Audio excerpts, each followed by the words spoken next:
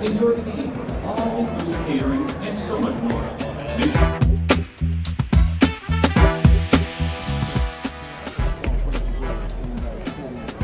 My friend Matt, I got two beers out of him. That's not bad.